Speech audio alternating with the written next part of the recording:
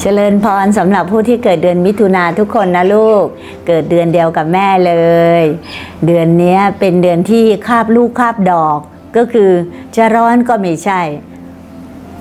จะเย็นก็ไม่เชิง เพราะฉะนั้นชีวิตจริงมันก็เป็นเช่นนี้ สุขบ้างทุกบ้างเป็นธรรมดา แต่แม่ก็เชื่อว่าฤดูกาลผ่านมาแล้วก็จะผ่านไป ขอให้ชีวิตของลูก สดใสและเบิกบาน ผ่านทุกๆสิ่งที่เข้ามา ยิ้มรับกับสถานการณ์ได้ อย่างผู้มีปัญญายาณทุกท่านเทิน